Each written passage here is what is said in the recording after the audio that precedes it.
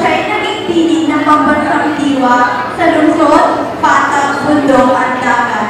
Ayon kina Pedro Rizal at Laurel, mamahaligi ng